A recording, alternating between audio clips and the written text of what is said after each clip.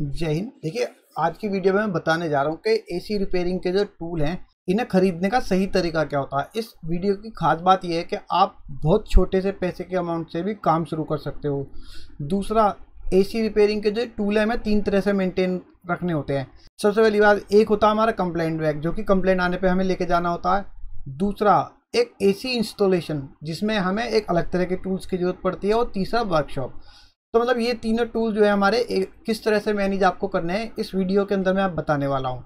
और सबसे बड़ी बात देखिए, जब मैंने काम स्टार्ट करा था ना तो बहुत ही कम पैसों से स्टार्ट करा था। और जैसे जैसे मुझे टूल्स की ज़रूरत पड़ती गई, मैं उन्हें बाय करता गया। तो इस वीडियो की सबसे बड़ी खासियत यही है कि मैं इसमें आपको ऐसे बाइंग गाइड बता रहा हूँ किस तरह से आपको एसी के टूल खरीदने हैं जिसमें आपका काम बहुत कम पैसों से शुरू हो जाएगा और आप जो अर्निंग करोगे उस, उस उन टूल के ज़रिए उसी से अपना काम आगे बढ़ा सकते हो अपने टूल मतलब ज़्यादा से ज़्यादा खरीद सकते हो।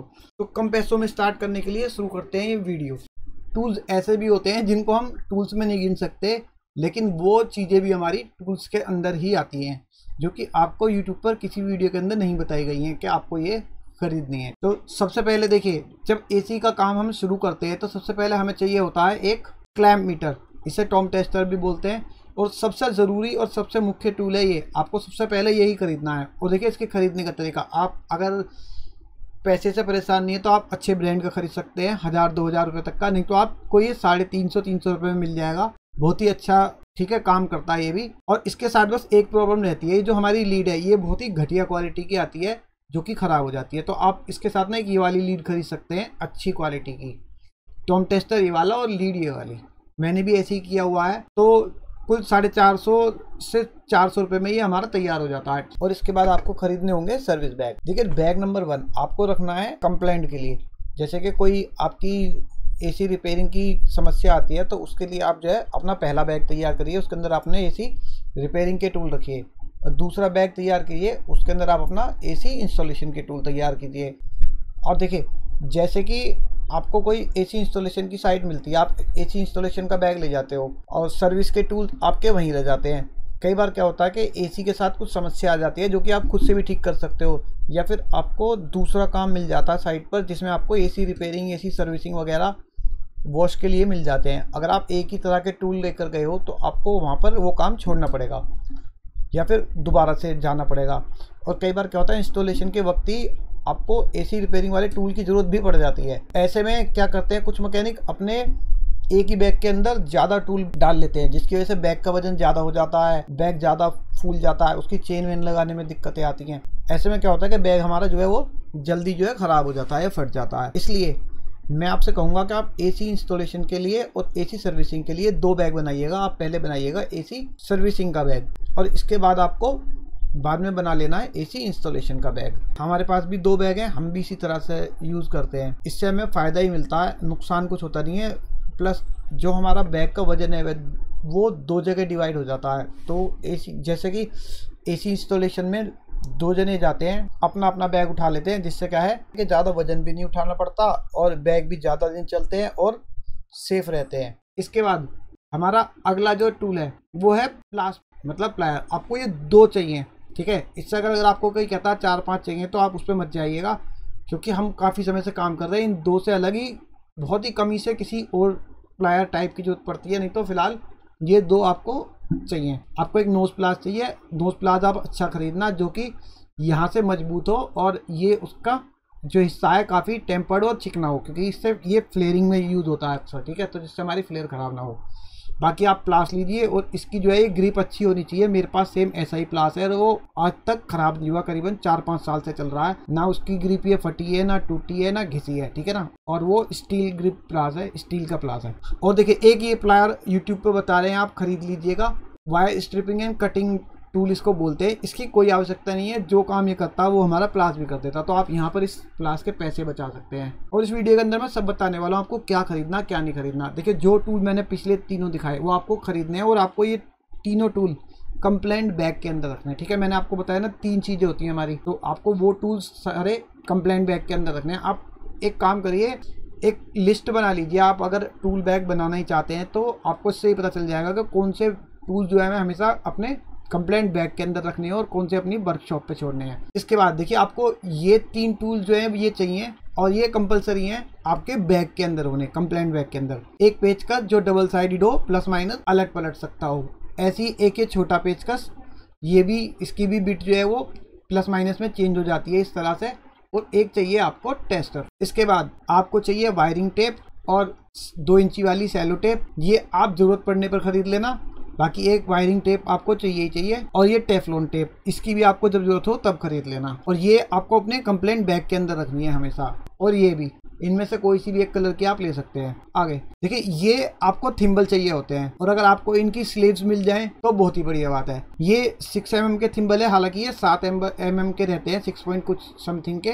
ये आपको थिम्बल चाहिए। अगर आपको ऐसे साइड थिम्बल मिल जाते हैं तो ये बहुत ही बढ़िया बात है। बाकी आपको ये दो थिम्बल्स एसी रिपेयरिंग के काम के अंदर चाहिए होते हैं। और ये आपके कंप्लेंट बैग के अंदर ही होने चाहिए, क्योंकि ये एक तरह से टूल की तरह यूज़ होते हैं। क्योंकि अगर कहीं आप गए वायरिंग जली मिली या कुछ भी हुआ तो आप वहाँ किस चीज़ से जोड़ोगे? अब ये एक रुपए का, पचास पैसे का आइटम थोड़ी ना लेने भगोगे। क्या समझे? तो आपको ये हमेशा अपने कंप्लेंट बैग के अंदर रखना है। कम से कम दस पाँच थिम्बल्स हमेशा।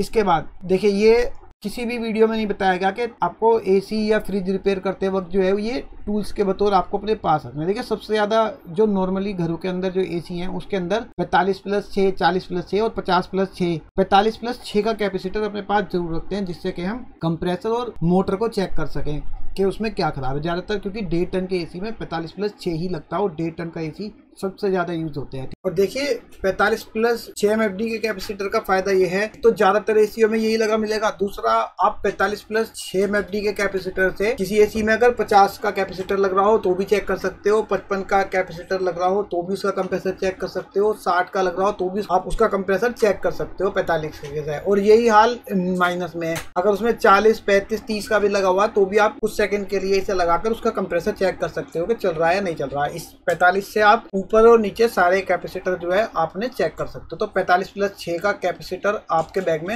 हमेशा होना चाहिए और चार का और दो या ढाई का कैपेसिटर आपके बैग में होना चाहिए, जिससे कि आप जैसे पाँच, चार या नीचे एक, दो दो कैपेसिटर, दो एम के कैपेसिटर तक की कोई भी फ़ैन मोटर आराम से चेक कर सको। आपको दो, तीन, चार छ और दस, ये कैपेसिटर अपने पास हमेशा रखने हैं। पैंतालीस और पचास का कैपेसिटर। फ़िलहाल आप इनमें से दो, तीन कैपेसिटर रख लीजिए, उससे काम चल जाएगा। एक ये पीटीसी स्टार्टिंग रिले ये फ्रिज का कंप्रेसर चेक करने के काम आती है कि फ्रिज का कंप्रेसर चल रहा है नहीं चल रहा है। वैसे तो डायरेक्ट वायर के थ्रू भी स्टार्टिंग से जो है उसको चेक कर सकते हैं फ्रिज को, पर आप ये रखें तो ज़्यादा बेटर है। बेकार जुगाड़ लगाने से अच्छा है, छोटा सा प्रोडक्ट है बैग के अंदर रखा रहेगा, कोई दिक्कत नहीं है। इसके बाद देखिए, ये ब्रश है जो आपको चाहिए होते हैं। सबसे पहले आपको एक टूथब्रश तो चाहिए ही चाहिए, क्योंकि ये स्प्लिट एसीओ विंडो एसीओ को सर्विस करने के सबसे इंपॉर्टेंट टूल है। और देखिए, आपको जो टूथब्रश चाहिए ना, ये आपको सुपर हार्ड ब्रश चाहिए। जितना भी ज़्यादा से ज़्यादा हार्ड ब्रश आपको मिलेगा, उतना बढ़िया ये हमारी कोयल को सर्विस करेगा। और दूसरा इस ब्रश के साथ, देखिए ये ब्रश जो है हमने उल्टा बेंड करा हुआ हमने इसको यहाँ से हीट देकर मतलब गर्म करके इसको हमने मोड़ दिया है। क्योंकि अब ये कोयल के संपर्क में इस तरह रहेगा। और जो इतना स्पेस है, ये हमारी जो हाथ है, उसको कोयल से दूर रखेगा, जिससे कि हमारे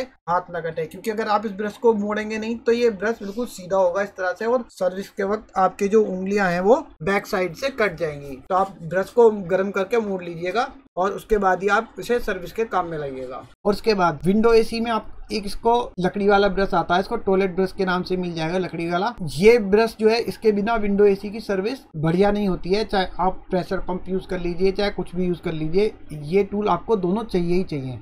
और ये होता है एक लोहे के दाते वाला ब्रश। ये ब्रश आता है हमारे काम आ, कार्बन वगैरह झाड़ने के लिए रस्टी मतलब जो जंग खा जाती है ना कोयले वगैरह उसके साइड से या कोयलों पे जो रस्ट आ जाती है लीकेज के वक्त ये हमारा उसको साफ़ करने के काम आता है। एक ये ब्रश है। ये ब्रश उस कोयल में काम आता है जो कोयल हमारी अंदर से काफ़ी डस्टी हो गई हो विंडो एसी की सर्विस करने करने में और ये छोटा ब्रश ना जा रहा हो या इसके ब्रश हल्के पड़ रहे हो तो ये ब्रश हमारे काम आता है। इसको हम कभी कभी यूज़ करते हैं। और देखिए एक ये टॉयलेट ब्रश अगर आपको लकड़ी वाला नहीं मिलता है तो आप ये वाला ब्रश यूज़ कर सकते हैं। और इसमें आप क्या करेंगे? जो ये वाला ब्रश है आप, इसका जो ये मुड़ा वाला हिस्सा है, जहाँ से ये मोटा हो रहा है, इसको काट देंगे और यहाँ से इसको थोड़ा सा घिस लेंगे ग्राइंडर से और इस तरह का बना लेंगे। तो ये आपका जो है, ये ऐसे वाला बन जाएगा क्योंकि अक्सर जो है, ये वाला ब्रश अगर आपको नहीं मिलता है, ये वाला ले लीजिए और अगर ये आप अच्छी क्वालिटी में लेंगे तो इसकी एक खासियत और भी रहती है कि जो इसके दांते हैं, ये खराब नहीं होते हैं, ये ब्रश थोड़ा हल्की क्वालिटी के होते हैं, इसके दांते जो ब्रश हैं, इसके जल्दी खराब हो जाते हैं। तो आपको इनमें से एक ये और एक ये। ये तो हमेशा स्टार्टिंग में ही खरीद लेने, काम शुरू करने के लिए, और आपको ये दोनों कंप्लेंट बैग के अंदर चाहिए।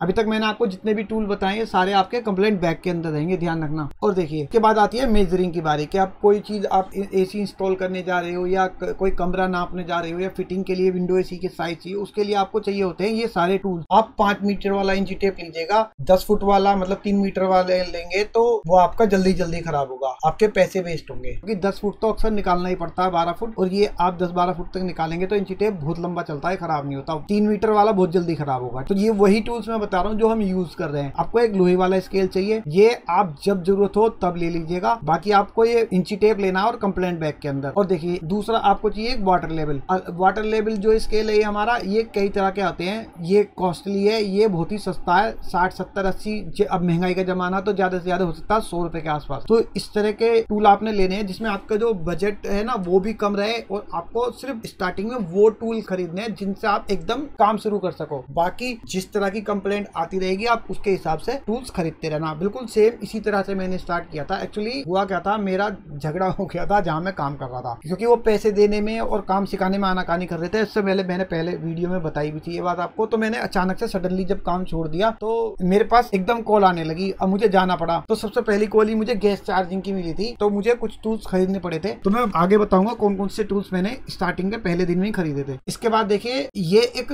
वर्नियर कैलिब्रस है। ये कोई इंपोर्टेंट टूल नहीं है, कोई ज़रूरी टूल नहीं है, मैंने सिर्फ़ इसलिए यहाँ पे लगाया है क्योंकि मेरे पास था, मुझे किसी ने गिफ्ट दिया था। और ये टूल आपके जब काम आता है, जब आपको कोई नट, बोल्ट या कुछ भी ऐसी चीज़ हो जो आपको समझ में ना आ रही हो, कितने एम की है या खरीदनी हो या उसके लिए कोई टूल खरीदना हो तो ये बहुत ही अच्छा टूल है। आप उसको नाप सकते हो कि मेरे को कितने एम की ज़रूरत है जो हमें लाना है। उसके बाद एक ही होता है साउल। इसकी भी आपको ज़रूरत पड़ सकती है कि ये टूल हमारा जो काम आता है, ये सिर्फ़ एक एसेट एसी लगाने के काम आता है। इसकी भी हमें ज़रूरत पड़ती है, ये भी हमारे पास है। पर ये साल दो साल में एक आध बार यूज़ होता है, क्योंकि कैसेट एसी की जो है इंस्टॉलेशन बहुत कम मिलती है। और वर्नियर भी आपको ये ज़्यादा महँगा टूल नहीं है, आप खरीद सकते हो। ये थोड़ा कॉस्टली मिलेगा डिजिटल वाला और ये आपको थोड़ा सस्ता मिलेगा, बस। ज़रूरत हो तो खरीदना, नहीं तो मत खरीदना। अब देखिए वर्नियर कैलिपर्स की खासियत क्या होती है? ये आपका जो इंटरनल डायमेंशन है, ये भी नाप देता है। यहाँ पर कोई भी चीज़ इसमें लगाकर। और जो एक्सटर्नल डायमेंशन है, ये भी आपकी नाप देगा, जो बाहरी भी आ किसी भी चीज़ का। और किसी भी चीज़ की गहराई भी नाप देगा या उसकी बाहर से लेंथ भी नाप देगा, इस तरह से। जहाँ पे आप इसके जो को यूज़ करके नहीं नाप सकते, ये इसके पीछे से जो स्लाइडर है, इसका ये, इसमें ये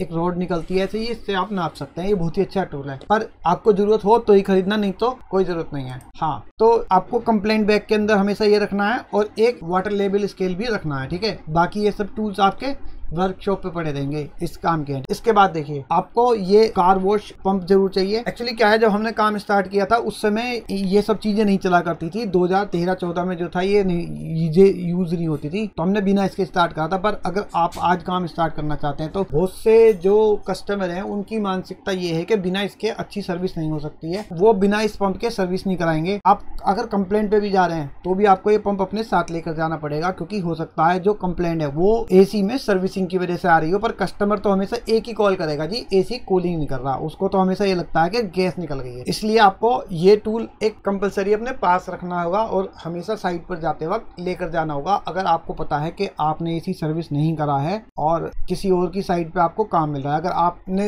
एसी सर्विस किया हुआ है तो आपको पता ही होगी कि हमने सर्विस करा था प्रॉपर सर्विसिंग है तो मतलब फॉल्ट कुछ हो रहा है। तब आप इसको एक बार को छोड़कर जा सकते हैं। इसके बाद आपको चाहिएगा एक, ये एसी का जो है ना, ये एक बैग होता है। इसके अंदर हम एसी को पैक कर सकते हैं। और इसके बाद क्या है, जो हम अपने सर्विस करते हैं तो उसकी जो, पानी की जो छीटे होती हैं, वो पूरे घर में नहीं फैलती हैं। रूम के अंदर मतलब और वो आसानी से सर्विसिंग में आ जाता है। इसके बाद देखिए, आपको ट्यूब कटर चाहिए। ये ट्यूब कटर देखिए, कई तरह के आते हैं। ये कॉस्टली वाला ट्यूब कटर है। इसमें क्या है, बस खास बात, इसमें पाइप ना आसानी से हल्के हाथ से पकड़ने पे भी कट जाता है। और ये ट्यूब कटर सबसे बढ़िया ट्यूब कटर है। बस इसमें क्या है कि यहाँ पे ये रोलर नहीं है तो इसमें पाइप थोड़ा जाम चलता है। आपको हाथ से अक्सर पाइप टाइट पकड़ना पड़ सकता है। अगर आप पाइप काट रहे हो डायरेक्ट हाथ से पकड़कर, छोटा पाइप उसके लिए बता रहा हूँ मैं। और ये सबसे अच्छा ट्यूब कटर इसलिए है, ये काफ़ी सस्ता आपको सवा सौ, डेढ़ सौ रुपए में मिल जाएगा और ये करीबन तीन सौ, ढाई सौ रुपए से ऊपर ही आपको मिलेगा। और ये आपके बैग का वज़न भी कम बढ़ाएगा। जैसे मैंने आपको बताया कंप्लेंट बैग के अंदर बहुत सारी चीज़ें होती हैं। तो वो सब चीज़ें हमें मेनटेन करनी है कि मतलब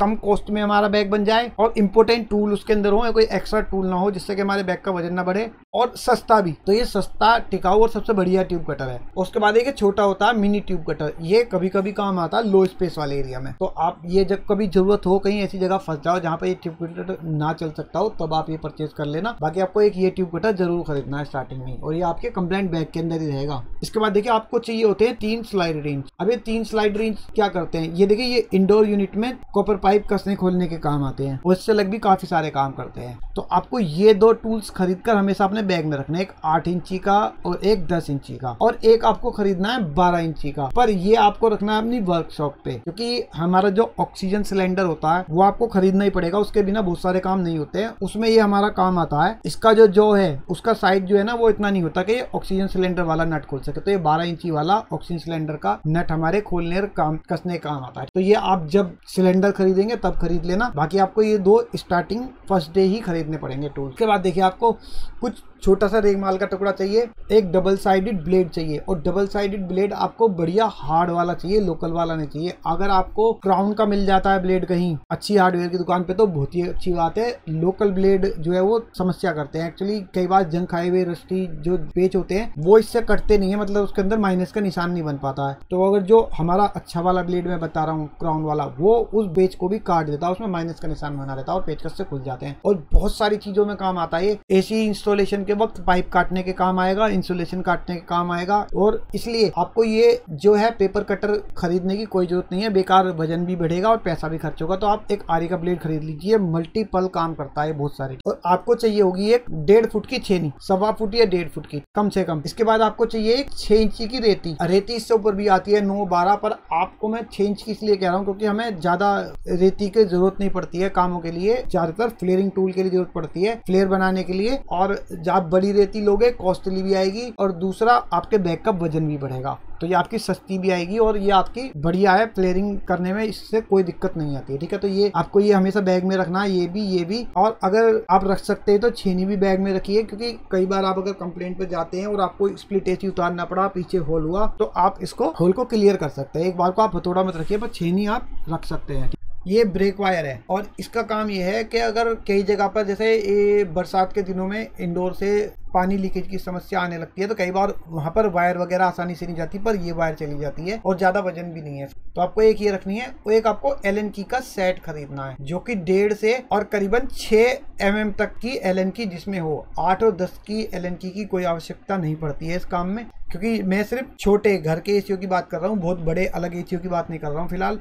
तो इसमें आपको छह वाला तो एलएन की कभी कभी यूज़ होगी। फ़िलहाल आपको पाँच से चार एल की का सबसे ज़्यादा यूज़ पड़ेगा और बाकी ये कभी कभी रेयरली आपको ज़रूरत पड़ेगी एलएन की की। तो आप ये वाला सेट खरीद लीजिए, सस्ता सा कोई। इसके बाद आपको ये फोम ज़रूर रखनी है, छोटी सी। बहुत ही दो तीन एम एम या चार सॉरी चार एम एम मोटी ये फोम होती है, ये अक्सर स्प्लिट एसी की कंप्लेंट निपटाने में काम आती है, पानी वानी गिरने की समस्याओं में। इसके बाद आपको देखिए, ये इंपोर्टेंट टूल है और ये सब अपने बैग के अंदर रखने हैं, जो मैंने बताया। ये भी ये भी और ये भी। अब इसके बाद देखिए, आपको दो लाइन खरीदनी है क्वार्टर वाले साइज़ की। मतलब दो सूत वाले साइज़ की मतलब आर बाय इसके नाम से आपको ये लाइन मिल जाएँगी। आपको दो खरीद के रखनी है ये। और एक आपको खरीदनी है आर बत्तीस या आर चार सौ दस के नाम से ये लाइन आपको मिल जाएगी। बस इसमें फ़र्क क्या रहता है? इनका जो ये कसने का जो हमारा नट है, ये एक दो सूत का रहता है और जो ये हमारी आर बत्तीस वाली है, इसका ढाई सूत का रहता है। मतलब समझ रहे आप? तो आपको दो लाइन अगर आपको दो लाइन में काम चलाना है तो आप ये लाइन निकाल दीजिए। आप एक ये खरीद लीजिए, ये काफ़ी कॉस्टली आता है। या फिर ये खरीद लीजिए, ये सस्ता आता है और ये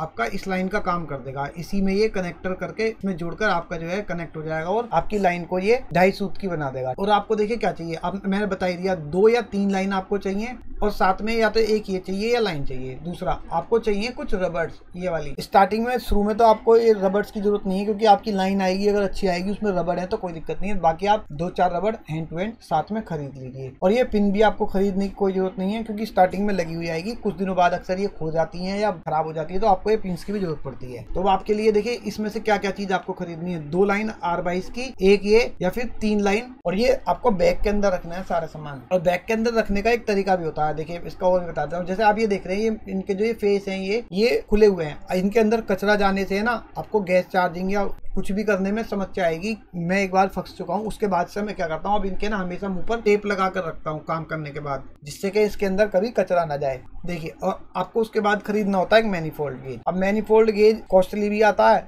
दूसरा, अगर आप बैग का वज़न नहीं बढ़ाना चाहते हो, सस्ते पैसे में काम करना चाहते हो तो आपको एक डबल वाला मैनीफोल्ड ना खरीद के आप ये ये वाला खरीद लेना, जिसमें 500 साढ़े चार सौ, पाँच सौ प्रेशर का होता है ये। ठीक है, देखिए इसमें माइनस तीस तक वैक्यूम भी है और उसके बाद आपका ये 400-500 तक आपको गैस का प्रेशर भी दिखा देगा। तो आपका ये दोनों काम ये अकेला ही कर देगा, क्योंकि इसमें हाई प्रेशर लो प्रेशर सबका ही है, ये गेज एक तरह से। तो आपको एक ये सिंगल गेज में ही आपका काम चल जाएगा, आपको ये दो मीटर खरीदने की ज़रूरत नहीं है। देखो, ये भी आपको हमेशा बैग के अंदर ही रखना है। ये सारा कंप्लेंट का सामान है, जो कि आप इसके बाद बात करते हैं पिंच टूल खरीदने की। देखिए, ये पिंच टूल है, मेरे पास तीन तरह के अवेलेबल है, मैंने यहाँ आपको दिखा रखे हैं। ये पिंच प्लायर है, ये पिंच ऑफ़ टूल है और ये भी पिंच ऑफ़ टूल है। अब इन तीनों में बेस्ट कौन सा है जिसमें हमारा कम खर्चा हो और औज़ार हमारा जो है वो बढ़िया हो? तो मैं आपको बताऊँगा जो ये वाला पिंच प्लायर है ये मेरे पास है और मैं बताऊँ इसका रिज़ल्ट ज़्यादा बढ़िया नहीं है। ये अक्सर पिंच नहीं कर पाता कई कई बार पाइप को हमें पिंच करना पड़ता है इसमें खोल खोल के। तो ये मुझे पसंद नहीं आया। हालाँकि इसके जो हम पिंच करते हैं उसकी एक खास बात होती है कि इसके द्वारा करा गया पिंच हमारा हम प्लास के द्वारा वापस से खोल लेते हैं दबाकर। अब बात करते हैं इसकी। आजकल देखिए यूट्यूब पर ना वीडियो डाली हुई है कई लोगों ने इस, इस वाले टूल को खरीद लिए, कंपनी का टूल है, कंपनी यूज़ करती है, बहुत अच्छा टूल है। और ये इस तरह का जो है ये पाइप को पिंच करता है। और आप देख रहे हैं इसने कितना बेहतरीन करके पिंच करा है, पर लेकिन ये मुझे टूल पसंद नहीं आया, क्योंकि ये जो पिंच करता है, ये हमेशा के लिए पाइप को दबा देता है, और इसके द्वारा जो दबाया गया पाइप है, वो खोला नहीं जा सकता वापस। तो ये परमानेंट पिंच वाला है। तो एक्चुअली हम जो काम करते हैं ना, उसमें अक्सर हमें पिंच वापस खोलना पड़ता है। जैसे रेफ्रिजरेशन में आप यूज़ करोगे ना फ्रीजर के अंदर तो वो पिंच आपको खोलना है एनआरबी मतलब पिनवाल लगाने के बाद। और ये दूसरी जगह यूज़ होता है हमारा विंडो एसी के अंदर। तो विंडो एसी के अंदर क्या है? जैसे उसमें कोई वाल्व लगा हुआ नहीं आता गैस वगैरह चेक करने के लिए तो परमानेंट वो उसका पाइप बंद होता है तो वहाँ पर इसको लगाकर वाल लगाना पड़ता है उसके बाद पिंच को खोलना पड़ता है। इसलिए अगर आपने इससे वहाँ पर पिंच करा तो वो खुलेगा नहीं और कोई यूजलेस है ये। मतलब एक तरह से ये टूल यूजलेस ही है। अगर आपको परमानेंट पिंच नहीं करना तो ये बेकार टूल है, वाहियात टूल मेरे हिसाब से। तो आप इसको मत खरीदिएगा। हालाँकि ये ऑनलाइन तीन चार हज़ार रुपए का मिल रहा है, आपके टोटल पैसे वेस्ट है। अब बारी आई इस वाले टूल की। अब देखिए ये वाला टूल भी बेकार है, हमारे हिसाब से ये वाला टूल भी बेकार है। ये टूल मिल जाएगा आपको दो सौ, ढाई सौ, तीन सौ रुपए का शायद, मेरे ख्याल से तीन सौ रुपए के अंदर ये अमेजोन पे मिल रहा है आज की डेट में। और इसका ये वाला वर्जन ये थोड़ा अच्छा वर्जन है, ये आपको सिर्फ़ डॉट कॉम पे मिलेगा। जैसे eBay dot com Amazon dot com ये थोड़ा ब्रांडेड है और ये आपको दो, ढाई हज़ार रुपए से ऊपर का ही मिल रहा है उन पे अब इस वाले टूल की खासियत क्या है? इसमें देखिए, ये वाला जो एरिया आप देख रहे हैं, ये हमारा कॉपर पाइप को पिंच करने के लिए दिया गया है। इसमें हम अपना कॉपर पाइप दबा सकते हैं। और ये वाली जो आप देख रहे हैं, ये वाले होल्स इन तीनों होल्स के अंदर उस पिंच एरिया को दबाकर हम अपना पाइप का वापस से होल खोल सकते हैं। तो उसमें हमारी गैस का आना जाना शुरू हो जाएगा। और ये देखिए, इन्होंने यहाँ पर दिखाया हुआ है। यहाँ पर पिंच करा हुआ है पाइप को। उसके बाद यहाँ पे मुँह इसका बंद कर दिया। उसके बाद चाहे आप एनआरबी लगाओ या कुछ भी लगाओ, या इसको परमानेंट बंद करो। और उसके बाद आप इसको यहाँ से खोल भी सकते हो। तो ये बेस्ट पिंच ऑफ़ टूल है। आपको अगर पिंच टूल चाहिए तो आप ये वाला लेना। ये और ये आपके पैसे वेस्ट है। और देखिए, अगर आप फ्रिज का काम करते हैं फ्रिज की गैस चार्जिंग करते हैं तो आपको ये हमेशा बैग में अपने रखना होगा ये टूल क्योंकि फ्रिज में ये हमेशा काम आता है, क्योंकि फ्रिज में जो है गैस चार्जिंग के लिए कभी भी वाल लगा हुआ नहीं आता है तो उसमें हमेशा एनआरबी लगाने से पहले या कुछ भी करने से पहले हमेशा, या फिर आपको अगर गैस पे डाउट है तो गैस चेक करने से पहले ये लगाना पड़ सकता है। इसके बाद देखिए, आपको ये गोटी खरीदनी है, दो सूत का हैंडल है और ये इसके गोटी है। आपको ये गोटी का सेट चाहिएगा, ठीक है, आठ एम से करीबन चौदह एम का। ये सारी गोटी अक्सर कहीं ना कहीं किसी न किसी एसी में लगती है। तो एक ये गोटी का सेट आपको खरीदना ही पड़ेगा। आप जब ज़रूरत हो तब खरीद लेना, बाकी आप बिना इसके भी जब आप खरीद लोगे तो ये आपका जो है कंप्लेंट बैग के अंदर रहना चाहिए ये भी सामान। और एक चीज़, आपको ये एक दो गोटी लंबी वाली खरीदनी पड़ेगी, एक तेरह और चौदह एम की, और उसी हैंडल के साथ की, दो सूट वाले हैंडल के साथ की। उसमें क्या है, आप देख रहे हैं कि ये नट है, ये नट काफ़ी लंबे है तो ये इसको नीचे से कसने के काम आ जाते हैं। अक्सर क्या करते हैं मैकेनिक ना इनको ऊपर से कर देते हैं, जो कि गलत है। उसमें क्या होता है जो ये कवर है ये हमारा, फिर बाहर की तरफ़ खुलता नहीं है, जिससे क्या है, आगे कंप्लेंट करते में समस्या आती है। तो इसलिए आपको ये गोटी हैंडल के साथ ये दो गोटी लंबी खरीद के रखनी है, और ये वो सब सामान है जो मेरे पास है। और ये अक्सर एसी इंस्टॉलेशन के वक्त काम आता है, या फिर एसी रिमूविंग के वक्त काम आता है आउटडोर को निकालते वक्त। आप इसको चाहे तो कंप्लेंट बैग में रख लीजिए, चाहे खाली इंस्टॉलेशन वाले बैग में रख लीजिए। इसके बाद देखिए, आपको सबसे इम्पोर्टेंट टूल है ये। आपको एक घड़ी, बत्ती और एक ये दो के जी का एलपीजी सिलेंडर और एक ऑक्सीजन सिलेंडर चाहिए, जिससे आप इस तरह का एक सेटअप बना सकें। और इस सेटअप की खास बात यह है कि जो हमारी कॉयल रिपेयर है, उस कॉयल रिपेयरिंग में ये सबसे बढ़िया टूल है, क्योंकि जहाँ पर हीट नहीं हो पाती है ना कोई आसानी से, वहाँ भी ये जो है हमारा पाइप को अच्छे से गर्म कर देता है और उससे क्या है, हम अपनी कोयल को रिपेयर कर लेते हैं। अब देखिए इसके लिए हमें क्या क्या चाहिए बनाने के लिए। आपको चाहिए एक ये ऑक्सीजन रेगुलेटर और देखिए, इसमें जैसे आप एक तरफ़ से बंद देख रहे हैं ना, आप इस तरह से दो मीटर निकल कर इसको ले सकते हैं, आपको ये सस्ता पड़ेगा। और उसके लिए आपको चाहिए कम से कम ये चार क्लिप, एक आपको चाहिए एलपीजी रेगुलेटर और ये रेड और ब्लू या रेड ब्लैक जो भी मिले, कम से कम 12 फीट की पाइप। क्योंकि अगर मान लीजिए 10-12 फुट की हाइट पर कोई चीज़ आपकी लगी हुई है तो आप उसको मैनेज करके काम कर सकें। अगर आप ज़्यादा छोटी लाइन बना लोगे पाँच छह फुट की तो आप सिलेंडर ऊपर उठाते रखते फिरोगे किसी ना किसी चीज़ पे तो इस चीज़ से बचने के लिए आपको क्या करना है, कम से कम 10-12 फुट की आपको ये पाइप लेने हैं। और रेगुलेटर आपको ये वाला लेना है अच्छा वाला, और घड़ी भी आपको एक या थोड़ी अच्छी वाली लेनी है, मीटर निकलवा दीजिएगा, क्योंकि मीटर वैसे भी अधिकतर टूट जाते हैं तो आपकी कॉस्टिंग कम हो जाएगी। और इनमें से आपको कोई भी चीज़ अपने बैग के अंदर रखने की ज़रूरत नहीं है, ठीक है? ये आपकी वर्कशॉप पे यूज़ होने वाले टूल हैं या स्पेशली किसी साइट पर जाने के टूल है, जब आपको ज़रूरत पड़ेगी। अब देखिए, आपको एक ये वाली वेल्डिंग टॉर्च ले लेनी है, और आपको इसके साथ जो है दो नंबर की ये एक नोजिल ले लेनी है, ठीक है? ये दो नंबर की नोजिल हम यूज़ करते हैं।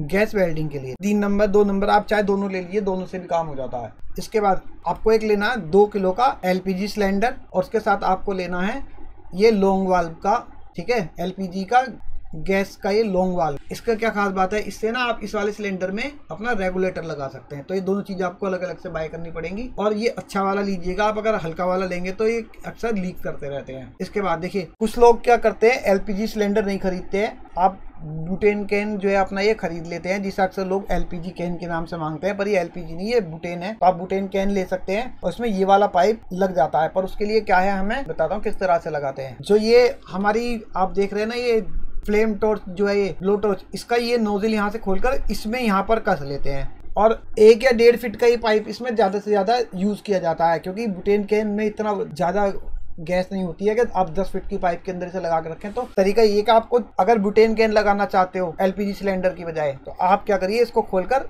और अपनी जो लाल वाली लाइन है, उसको दो या डेढ़ फीट की छोटी कर लीजिए। और इसमें ये कैन आप इसके लगा सकते हैं। आपको फिर ये खरीदने की कोई ज़रूरत नहीं है। पर यह कि आपको ये सस्ता पड़ता है और ज़्यादा जहाँ पर काम हो, वहाँ ये आपको लेकर ही जाना पड़ेगा। इसके बाद देखिए, ये अलग अलग तरह के ऑक्सीजन सिलेंडर होते हैं। ये एक बहुत बड़ा ऑक्सीजन सिलेंडर है, बहुत ही भारी है और महँगा सिलेंडर है। और उसके बाद ये तीन चार तरह के छोटे सिलेंडर है। और एक है आपकी सिलेंडर की की। ये आपको खरीदनी पड़ेगी। जिस दिन आपको कोई ऐसी साइड मिल जाए जहाँ पे आपकी जो ब्लोटोज काम ना कर रही हो, तब आप इसको खरीद लीजिएगा। और मैं बताता हूँ, अब ये वाले सिलेंडर में आपको कौन कौन से खरीदने हैं? आपको ये सिलेंडर की ज़रूरत नहीं है।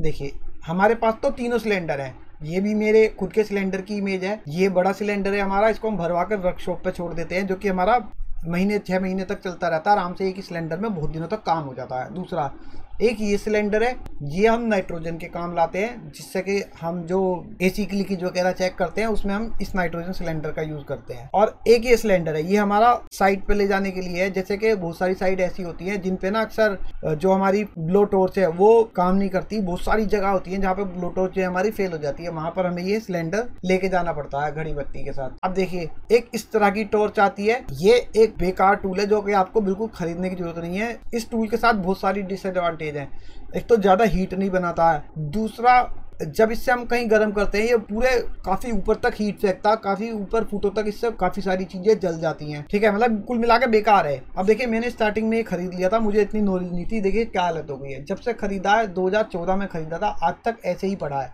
एक या दो बार चलाया था, उसके बाद से पैसे ही खराब हो गए, ठीक? और अब देखिए, आपने जो रेगुलेटर लेना है गैस का, आपने ये वाला लेना है। ऐसा भी नहीं लेना है, सस्ता सा कोई अच्छा रेगुलेटर लेंगे, आपकी सेफ्टी भी रहेगी और मज़बूत भी रहेगा। और सबसे बढ़िया बात क्या है, ये बहुत जल्दी लग जाता है और निकल जाता है। अक्सर क्या होता है इंडस्ट्रियल यूज़ में हम ये वाला जो रेगुलेटर यूज़ करते हैं एलपीजी के लिए। इसकी डिसएडवांटेज बहुत सारी हैं। लगाने में बहुत टाइम लेता है, दोनों तरफ़ चूड़ी कसनी पड़ती है। एक भी तरफ़ की आपकी ये टी वाली चूड़ी खो गई तो आप परेशान। आपकी ये निकल के भग गई तो भी परेशान। इसमें ऐसा कोई झंझट ही नहीं है। तो हम भी अब ये यूज़ करते हैं। ये मैं लाया था, ये सारा टोटल पैसा वेस्ट हो गया।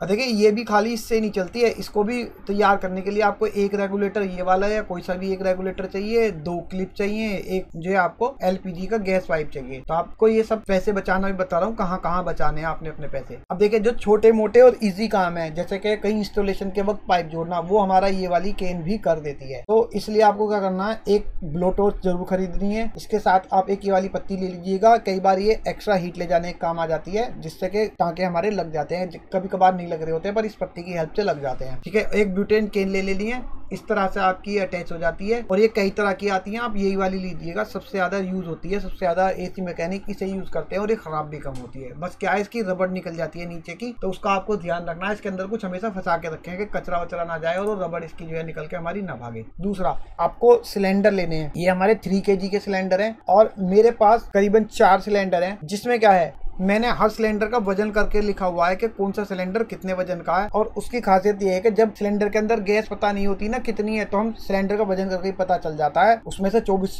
घटा करके हमारी जो है गैस इसमें इतनी है। तो आपको सिलेंडर का सेटअप इस तरह से करना है और सिलेंडर के साथ जो है वाल्व है अलग से खरीदने पड़ते हैं। आप अगर अच्छा वाल खरीदेंगे तो उसकी खासियत ये है कि जैसे आपने डेढ़ सौ, दो सौ का वाल ना खरीद के तीन सौ, साढ़े तीन सौ का वाल खरीद लिया तो आपकी, मान लीजिए इसमें दो सौ किलो, चार किलो गैस सॉरी चार किलो का तो सिलेंडर भी नहीं यार मतलब एक किलो, दो किलो गैस पड़ी है और वाल आपका खराब हो गया तो आपकी वो गैस खराब हो सकती है। आपका इतने का तो वाल नहीं है जितना आपका गैस का नुकसान हो जाएगा, क्योंकि मैं कर चुका हूँ। उसके बाद से मैं हमेशा ब्रांडेड ही वाल खरीदता हूँ, जिससे कि हमारी आगे से गैस का नुकसान ना हो। किस तरह से नुकसान हुआ था, आप समझेंगे कि बेकार झूठ बोल रहे हैं? वह ये कि मैं इसके अंदर ढाई किलो गैस लाया।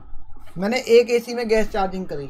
उसके बाद ये यहाँ से थोड़ा सा सिलेंडर लीक कर रहा था। मैंने क्या करा, उसको थोड़ा सा और टाइट कर दिया। जैसे ही मैंने उसको टाइट करा ना, ये पिन यहाँ से निकल कर उसकी चूड़ी स्लिप हो गई, कट्टे से टूट गई इसको टाइप करने के चक्कर में। मतलब चूड़ी अंदर से स्लिप हो गई और सारी गैस यहाँ से मेरी पूरी गैस निकल गई इस जगह से और इस जगह से फुस करके। इतना दुख हुआ कि मैंने यार, इतने का तो सिलेंडर वाल्व भी नहीं था, जितने की मैंने गैस का नुकसान कर दिया। उसके बाद से मैं हमेशा सब सिलेंडर में कंपनी के वाल्व यूज़ करता हूँ अच्छे। और अगर मुझे लगता है कि वाल्व बहुत ज़्यादा टाइट करना पड़ रहा है या उसमें कुछ लूजिंग आ गया तो मैं उसको फ़ौरन बदल देता हूँ, क्योंकि गैस हमारी ज़्यादा कॉस्टली है बाल से। ठीक है, आपको तीन सिलेंडर रखने हैं। आप देखिए कौन कौन सी गैस के लिए रखने हैं। एक रखना है आपको आर बाईस के लिए, क्योंकि आर बाईस हालाँकि बैन होने वाली है कुछ समय में, लेकिन अभी भी आर बाईस के एसी चल रहे हैं। दूसरा आर बत्तीस के लिए एक सिलेंडर रखना है, और एक रखना है चार सौ दस के लिए। बाकी जो गैस है, अक्सर उनके छोटी छोटी केन्स आती हैं। और देखिए, एक सिलेंडर मेरे पास एक किलो का भी है। कई बार जैसे ज़्यादा सामान हो जाता है तो मैं थोड़ी सी गैस, जैसे किसी एसी में सॉरी दो किलो का है, वो भी एक किलो का सिलेंडर नहीं है, छोटा सिलेंडर है, दो किलो गैस का।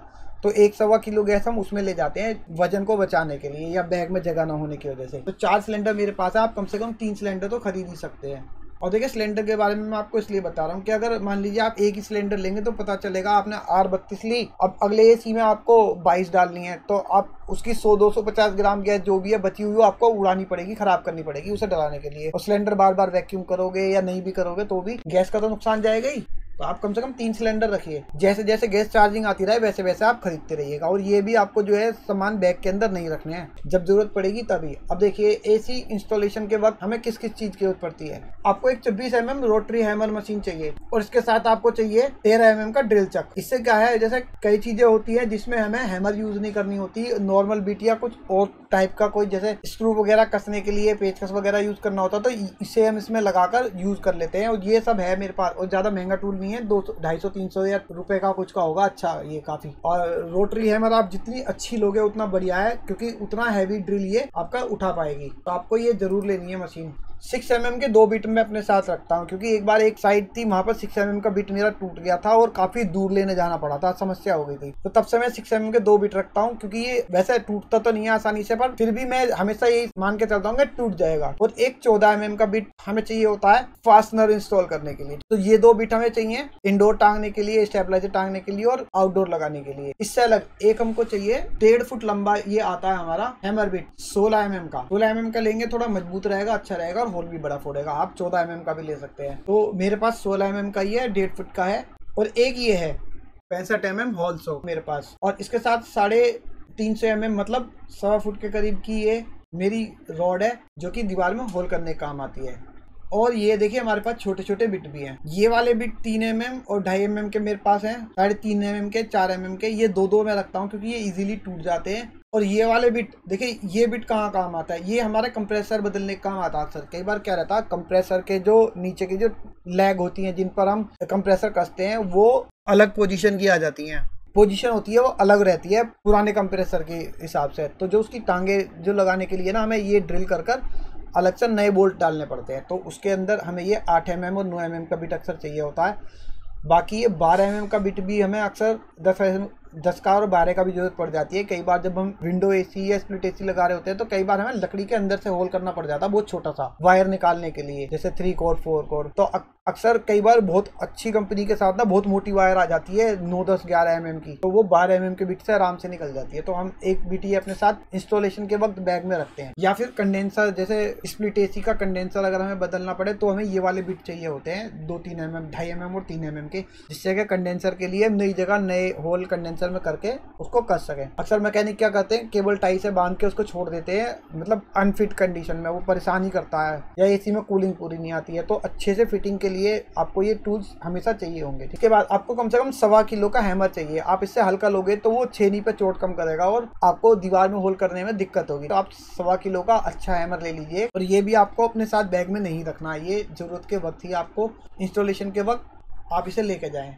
दूसरा, अब देखिए, बहुत सारे तरह के ये बेंडर आते हैं, जो कि हमारे कॉपर पाइप बेंड करने काम आते हैं। देखिए, ये जो कॉपर पाइप बेंडर है, ये छह सात तरह के आते हैं। हाफ़ का, छह सूत का मतलब जैसे ये फाइव एट है, वो सिक्स एट रहता है। तो आपको मैं सीधे सीधे बताऊँ, आपको सिर्फ़ दो बेंडर खरीदने हैं। सबसे पहले आपको सिर्फ़ एक बेंडर खरीदना है हाफ़ का, वन पॉइंट टू मतलब आधे इंच का। सबसे ज़्यादा यूज़ होता है ये बेंडर। और कभी आपको दो टन के एसी की इंस्टॉलेशन मिले तो आप क्या करिए, फाइव एट का बेंडर खरीद लीजिए, नहीं तो आपको इसकी कोई ज़रूरत नहीं है। आप सिर्फ़ हाफ़ का बेंडर खरीद के रखिए स्टार्टिंग में। और ये होता देखिए इंटरनल स्प्रिंग बेंडर है ये। इस तरह से देखिए कॉपर पाइप के अंदर डालकर पाइप को बेंड कर दिया जा रहा है इसमें। पर मैंने अभी तक यूज़ नहीं करा और नहीं मेरी समझ में आ रहा है मुझे तो ऐसा लग रहा है कि अगर गलती से इसको लगाने के बाद पाइप थोड़ा सा भी बेंड हो गया ना पूरा तो पाइप अंदर ही फंस जाना है। क्या समझे? निकलेगा भी नहीं। क्योंकि जो ये वाला स्प्रिंग बेंडर है, ये भी अक्सर अगर आपसे जरासी सी गलती हुई तो पाइप के साथ फंस जाता तो ये तो चूड़ी घुमा घुमा के निकल जाता है, पर ये मुझे उम्मीद नहीं है निकलेगा भी, क्योंकि जब इसको घुमाते हैं तो ये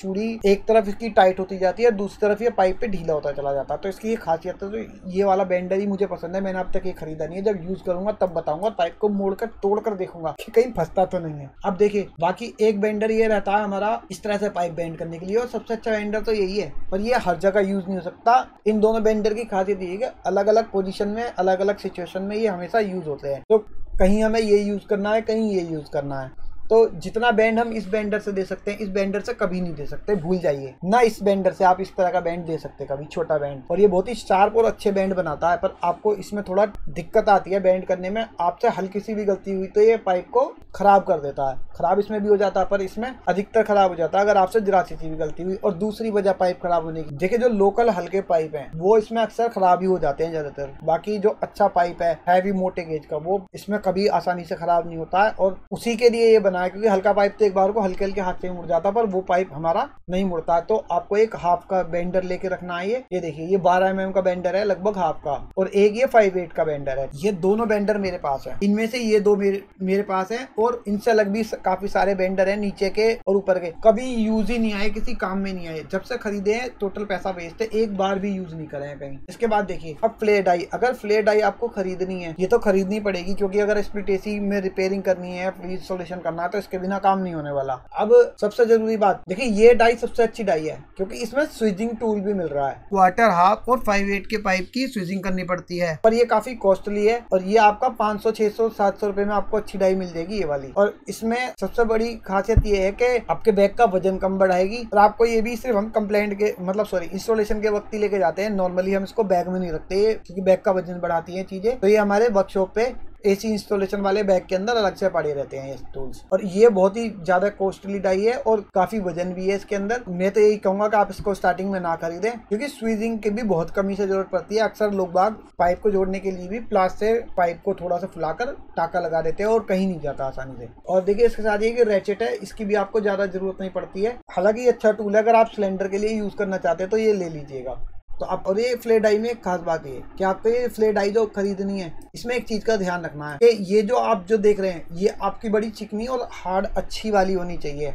फ्लेयर कॉन हमारा जो है ये? और जो ये फ्लेयर बांक है, इसको लोग बाग कोई बांक बोलता है, कोई कुछ बोलता है तो आपको, हालाँकि इस पर ट्यूबिंग टूल लिखा हुआ है, इसको ट्यूबिंग टूल ही बोलते हैं। तो इसमें एक चीज़ का आपको ध्यान देना, देखिए आप, ये जो इस पर फ्लेयर कौन बनी हुई है ना ये अक्सर ना ये बहुत छोटी सी रहती है। तो जिसमें बड़ी होगी, वो आपके लिए अच्छा है, उसमें आपकी अच्छी फ्लेयर बनेगी। देखिए, कितनी बड़ी इसमें जगह दी हुई है फ्लेयर बनाने के लिए। इससे पहले मेरे पास एक डाई थी, उसमें ये काफ़ी जगह कम थी। तो आपको ये डाई खरीदते वक्त हमेशा ध्यान देना कि ये जिसमें सबसे ज़्यादा जगह हो, चिकनी, वो आपको डाई खरीदनी आप दो तीन कंपनियों की देखकर खरीदिएगा। और आपको इतने सारे होल आप देख रहे हैं, इसमें एसी फ्रिज रिपेयरिंग में मैं आपको बताऊँ, ज़्यादातर आज तक ज़्यादातर छोड़ो, आज तक मैंने जो यूज़ करे हैं, सिर्फ़ चार ही पॉइंट यूज़ करे हैं फाइव एट वाला थ्री एट वाला हाफ़ वाला और क्वार्टर वाला। बाकी और पता नहीं किस मशीन में कहाँ यूज़ होते हैं। इसके बाद देखिए, अगर आप एसी लगाने जा रहे हो, आपको लकड़ी की वहाँ पर बोर्ड या खिड़की विंडो कुछ मिल गई जहाँ पर आपको एसी लगाना है तो आपको एक ये लकड़ी का होल्सो चाहिएगा। इसके अंदर काफ़ी सारे साइज़ हैं। आपको कम से कम पैंसठ इंच वाला सॉरी पैंसठ एम एम वाला चाहिएगा जिससे कि आप लकड़ी में इस तरह से होल कर कर स्प्लिट एसी को फिट कर सके। और देखिए, ये ये टूल मैं बता चुका हूँ, आपको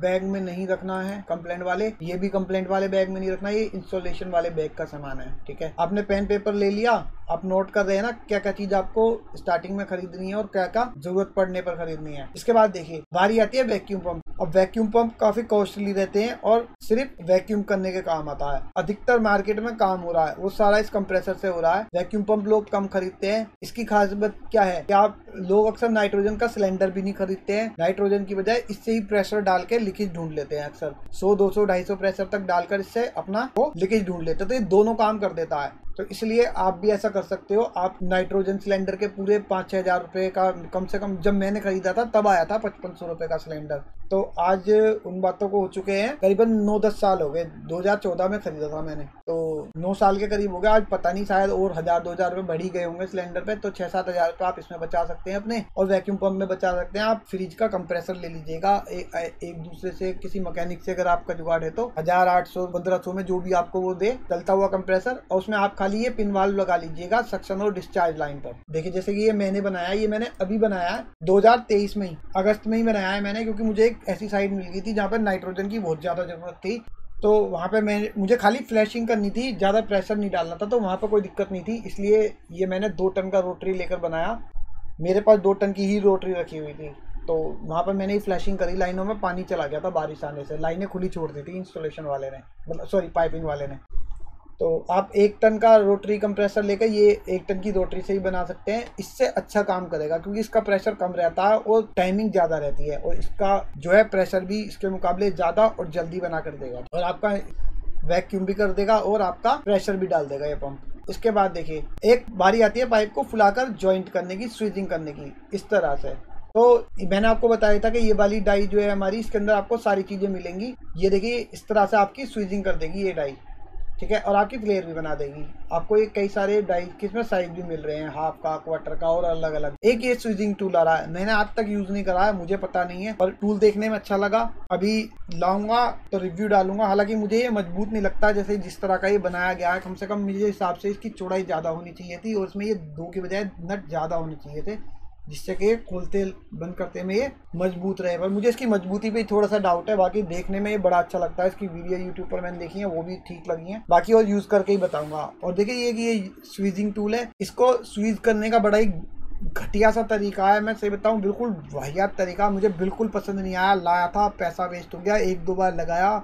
स्विजिंग करने की कोशिश करी। दो बंदे चाहिए इसमें स्विजिंग करने के लिए। और कई जगह पे इससे स्विजिंग हो भी नहीं पाती। तो आपको स्विजिंग टूल खरीदने की कोई ज़रूरत नहीं है। फ़िलहाल आप नोक प्लास्टर पाइप को फुलाकर आप टाका लगा दीजिए। कोई दिक्कत नहीं है। थोड़ा सा बस क्वार्टर वाले में डर लगता है कि कहीं वो बंद ना हो जाए। क्वार्टर वाले में स्विजिंग करना अच्छा रहता है वैसे थोड़ा। तो आप स्विजिंग टूल अभी मत खरीजिएगा स्विजिंग टूल का मैं देखता हूँ कुछ अच्छा अल्टरनेट अगर आपके लिए हो जाए तो। एक देखिए आपको चाहिएगा हंड्रेड वॉट का बल्ब। एक होल्डर और कुछ ढाई एम की वायर। जैसे कि हमें एसी में मोटर वगैरह की जैसे वायरिंग मिट जाती है, खो जाती है या नहीं पता होती है, उसमें ये हमारा काम आता है motor, window AC split AC की मोटर की वायरिंग ढूँढने में। आपको एक चाहिएगी लोहा काटने वाली आरी।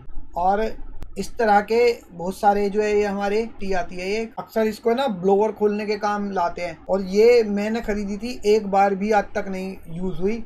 ऐसे ही पड़ी है। तो आप ये जब ज़रूरत पड़े तो खरीदिएगा, ये भी टूल आपको कोई खरीदने की ज़रूरत नहीं है। इसकी भी आपको कभी ज़रूरत पड़े तो खरीदिएगा, नहीं तो कोई दिक्कत नहीं। बाकी शोल्डरिंग आयर वायर पेस्ट जो भी है, ये भी आपको कभी ऐसी पीसीबी या कोई चीज़ मिले जिसमें आपको कुछ समझ में आ रहा हो कि हाँ भाई, इसको मैं खुद से रिपेयर कर सकता हूँ तो आप खरीद लीजिएगा नहीं तो इसकी भी कोई ज़रूरत नहीं है। मैंने भी बहुत सालों बाद खरीदा था, जब एक आध बार पता चला कि हाँ भाई छोटा मोटा फॉल्ट है, इसको हम खुद कर सकते हैं। क्योंकि पीसीबी रिपेयरिंग हम खुद से नहीं करते पीसीबी रिपेयर वाले से कराते हैं। इसके बाद देखिए, ना तो आपको ये खरीदने की ज़रूरत है, ये टाइम पे खरीदने की ज़रूरत है, और ये भी। और एक ये कुछ मैकेनिक इसका यूज़ करते हैं। हमने आज तक नहीं खरीदा। एक आध कंप्लेंट आती है जहाँ पे अक्सर ब्लोअर वाला कोई माँगता है कि ब्लोअर से करते हैं अच्छी अच्छी सी सफ़ाई। हम ऐसी भैया बेकार दिखावे वाली सफ़ाई नहीं करते क्योंकि ये इतनी धूल उड़ाता, पूरा घर गंदा, खुद भी गंदे। तो हमने नहीं खरीद रखा। आपकी मर्ज़ी हो तो खरीदना, नहीं तो इसकी भी कोई ज़रूरत नहीं है। इसके बाद आपको दो ये वाल्व चाहिए। जो कि अलग अलग गैस की कैन पे लगते हैं, ठीक है? एक सौ चौतीस और बाईस ए का आपको सेम मिलेगा और एक 290 और 600 गैस के लिए अलग से मिलेगा। इस तरह से आप कैन पे इनको लगा सकते हैं। तो ये अक्सर फ्रिज एसी, फ्रिज की गैस चार्जिंग के काम आते हैं और एसी की गैस चार्जिंग में एक बार ही काम आया है आज तक। वो भी गोदरेज के एसी में। 290 गैस थी शायद तो शायद उसमें मैंने यूज़ करा था। और देखिए, एक ये इंपॉर्टेंट टूल है, ये आपको खरीदना ही पड़ेगा जब आपको कैपलरी नापनी हो। तो इसमें क्या आपको कैपलरी का गेज आप नाप सकते हैं और आपको एक छोटा तिकोरा इसके साथ खरीदना पड़ेगा। ये कैपलरी काटने में बहुत अच्छा टूल है। हालाँकि या तो आप रेती से घिसकर भी काट सकते हैं और एक बहुत ही बारीक दांतों का आप आरी, आरी का ब्लेड ले सकते हैं। उससे भी आप कैपलरी को आसानी से काट सकते हैं। एक ये फ्लक आपके काम आएगी। ये एसी रिपेयरिंग में काम नहीं आती कहीं भी लेकिन फ्रिज रिपेयरिंग में ज़रूर काम आती है। और इससे अक्सर फ्रिज पे टाका लगाने में इसके बिना दिक्कत होती है। तो ये काफ़ी सारी चीज़ों पर लग जाती है, एक ही फ्लक्स। इस पर सब लिखा होगा किस किस चीज़ पे आपका एक फ्लक्स काम आ जाएगा। आप जब ज़रूरत पड़े, फ्रिज की गैस चार्जिंग करनी हो, टाका न लग रहा हो, तब खरीद लेना, चाहे फ्रिज रिपेयरिंग करते वक्त जाते हुए खरीद लेना। ये दोनों चीज़ जब आपको कभी कैपलरी पे डाउट हो, तब खरीद लेना। इसकी भी आपको कोई ज़रूरत नहीं है। और ये सारा सामान, ये जो है आपका सारा सामान, ये वर्कशॉप पे रखने का, बैग में लेके घूमने का नहीं है। जब कभी आपको डाउट हो, तब इसे लेके जाइए, नहीं तो ज़रूरत नहीं है। फ्लक्स आपकी बैग में रहेगी। अगर आप गैस चार्जिंग पर जा रहे हो, बाकी ये है आपका कॉपर ब्रीजिंग रॉड तो ये आपको जब ही चाहिएगी जब आप कहीं जा रहे हो, बाकी दो चार छः का टुकड़ा बैग में पड़ा रहे, इससे कोई दिक्कत नहीं है।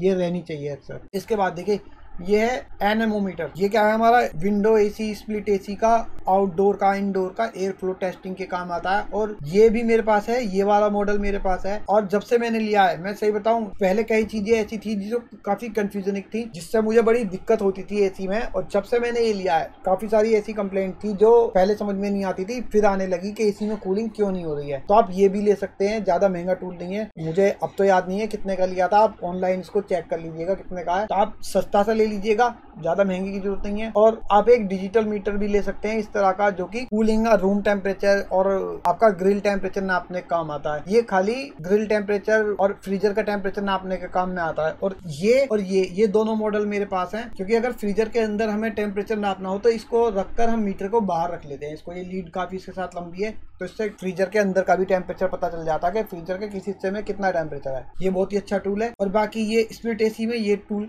अक्सर काम आता है क्योंकि ये एयर फ्लो भी बताता है और के अंदर टेम्परेचर का भी है। ये यहाँ पर इसका टेम्परेचर सेंसर लगा हुआ है, जो कि आपको बता देगा कि रूम टेम्परेचर कितना है और आपकी ग्रिल से जो एयर आ रही है, उसका टेम्परेचर कितना है। तो ये आप जब ज़रूरत हो तब खरीदिएगा। बाकी कंप्लेंट बैग के अंदर ये दोनों चीज़ें मैं रखता हूँ। एक टाइम में एक ही रखता हूँ, लेकिन। और देखिए, आपको इससे अलग चाहिए पेंसिल मार्कर या फिर स्केच पेन क्योंकि कई बार क्या होता है कुछ जगह ऐसी होती है जहाँ पर पेंसिल नहीं चलती, पेन भी नहीं चलते, पर वहाँ पे स्केच पेन या मार्कर चल जाते हैं मार्किंग करने के लिए। तो कस्टमर के घर जाकर बार बार मांगने से इंस्टॉलेशन के वक्त अच्छा है कि आप अपने पास ये छुटपुट चीज़ें हैं, हल्की फुल्की सी आप रख लीजिए। इसके बाद देखिए, ये है लकड़ी काटने वाली आ रही और ये है एक तिकोरा। ट्राइंगल वाली रहती है ये हमारी, है ना, एक तरह से। ये इस पर धार लगाने के काम भी आती है और कई जगह अलग तरह की कुछ घिसने घिसाने के काम भी आ जाती है। और एक ये है यारी जहाँ पर ये आरी नहीं चल सकती ना वहाँ पर ड्रिल मशीन से होल करने के बाद पहले ये वाली आरी चल जाती है, उसके बाद ये वाली आरी चलकर काम हो जाता है। और मैं बताऊँ, इन सब टूल्स की आपको ज़रूरत नहीं है। अगर आपको आरी चलानी नहीं आती है, लकड़ी विंडो एसी का काम नहीं करना तो आपको इनकी कोई ज़रूरत नहीं है। एक्चुअली मुझे लकड़ी का काम भी थोड़ा थोड़ा आता है तो हम विंडो एसी भी अक्सर खुद से लगा देते हैं। मेरे पास ये आर का सेट है, आपको इसकी वैसे कोई ज़रूरत नहीं है। और देखिए, एक ये 450 सौ mm का लॉन्ग हैंडल है एल सेप का, और ये आपको खरीदना ही पड़ेगा, लेकिन जिस दिन आपको कंप्रेसर बदलना हो, या जैसे कंप्रेसर विंडो एसी के अंदर कंप्रेसर के बोल्ट खोलने हो, या फिर मोटर खोलनी हो, तब ये अक्सर काम आती है। और इसके साथ आपको चौदह या तेरह तेरह नंबर की गोटी अक्सर चाहिए होती है। तेरह एम एम और चौदह एम एम की गोटी चाहिए होती है। या बारह एम एम की गोटी। जैसे मैंने बताया कि उसके पेज खोलने के हमारे अक्सर काम आती है मोटर के। क्योंकि वहाँ पर पेचकस नहीं जाता, गोटी हैंडल छोटा पड़ जाता है कंप्रेसर आप जानते ही हैं, काफ़ी लंबा होता है, ऊँचा होता है, उसमें ऊपर से कॉपर पाइप निकल रहा होता है। तो वहाँ ये समस्या आती है, उसको ये गोटी के ज़रिए हम सॉल्व कर लेते हैं। तो ये गोटी बहुत ही इंपॉर्टेंट टूल है, ये मेरे पास है, एक ही एक्सटेंशन केबल है, जो कि ड्रिल मशीन वगैरह को हमें कहीं भी दूर से चलानी हो तो उसके काम आ जाती है। तो आप पाँच छह मीटर की एक एक्सटेंशन केबल एक्स्ट्रा बना लीजिएगा, जब आपको ज़रूरत पड़े। और देखिए अलग अलग तरह के अलग अलग साइज़ के नट बोल्ट आपको चाहिए होंगे वॉशर चाहिए होंगी, थोड़ी बहुत, ये सब टूल्स जो है आपके, हमेशा बैग में होने चाहिए। और आप जैसे जैसे ज़रूरत पड़े, ज़रूरत के अनुसार टूल्स खरीद लीजिएगा। बाकी मैं आपको बता ही चुका हूँ कि आपको कौन सी चीज़ें इंपॉर्टेंट है जो खरीदनी है। और जो चीज़ें नहीं खरीदनी, वो भी मैं बता ही चुका हूँ। तो आपने पेन पेपर कॉपी लिया, आपने नोट कर लिया ना आपको क्या क्या चीज़ें खरीदनी है, क्या नहीं खरीदनी है। तो देखिए सिलेंडर के बारे में भी मैं बताना भूल गया था कि ये सिलेंडर आप जब लगे ना कि आपकी, की ब्लो टॉर्च काम नहीं कर रही है, तब आप ये सिलेंडर खरीद लीजिएगा, नहीं तो आपको सिलेंडर खरीदने की कोई ज़रूरत नहीं है स्टार्टिंग में। क्योंकि ये कोयल रिपेयरिंग में सबसे बढ़िया है आपकी कोयल रिपेयरिंग में जो है, ये केन और बत्ती काम नहीं आएगी। पहली बता रहा हूँ, क्योंकि कोयल के अंदर जो हमारे फिंस वाला हिस्सा रहता है, वो हीट और कूलिंग को एब्जॉर्व कर लेता है, जिसकी वजह से पाइप हमारे गर्म नहीं होते और ये हमारा जो सिस्टम है फेल हो जाता है। और एक बार तो मैं बताऊँ, एक सैमसंग का विंडो एसी था। उस पर ही फेल हो गई है एनआरबी वाली जगह पर, जहाँ पर हमें पिन वाल लगाते हैं। वहाँ पर इससे धागा गर्म ही नहीं हुआ, पता नहीं उसमें कौन सी ब्रीजिंग रोड उन्होंने यूज़ करी हुई थी। तो मुझे स्पेशली गैस चार्जिंग बीच में छोड़कर ऑक्सीजन वाला सेट अपना लेके जाना पड़ा, तब उससे वो गर्म हुआ। और उस दिन मेरा नुकसान भी बहुत हुआ, क्योंकि इससे काम नहीं हुआ और छत पर ऐसी हम गैस चार्ज कर रहे थे। और जैसे ही हम आए, उसी समय पता नहीं कहाँ से बादल आए और बारिश हो गई। सारा बैग हमारा पानी पानी में हो गया और हमें पूछा मत, काफ़ी सारा नुकसान भी हो गया था उस दिन।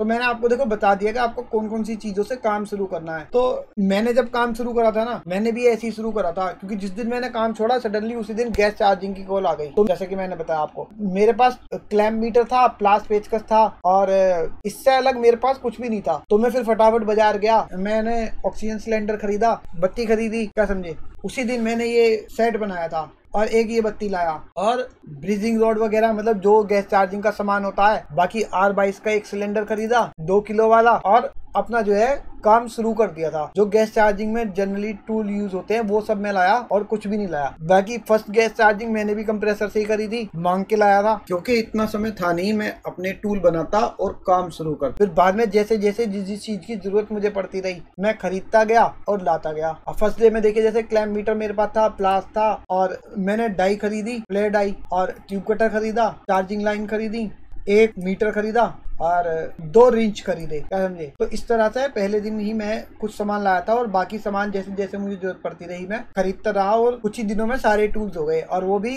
कम पैसों में, क्योंकि फ़र्स्ट टाइम मुझे कुछ दस पंद्रह हज़ार रुपए का सामान मैं पहले दिन लाया था और उसके बाद तो जैसे जैसे मैं अर्न करता गया, अपना सामान खरीदता गया। तो आप भी काम इसी तरह से शुरू कर सकते हैं, जैसे कि मैंने बताया, जो स्टार्टिंग टूल्स मैंने बताए आप बस इन्हीं टूल्स को खरीदिए और अपने काम पे निकल जाइए, जैसे एक ये दो, तीन, ये नहीं चार, पाँच, छ, सात, आठ, नौ, दस, ग्यारह, बारह, तेरह, चौदह, पंद्रह, सोलह, सत्रह अट्ठारह उन्नीस, बीस। ये कंप्लेंट पे जाने के लिए आपको ये सब चाहिए सामान। एक ये मीटर इनमें से कुछ नहीं चाहिए। ये चाहिए, ये बाद में ले लेना कभी टाइम से। ये गैस चार्जिंग की कॉल पे ले लेना कभी। ठीक है?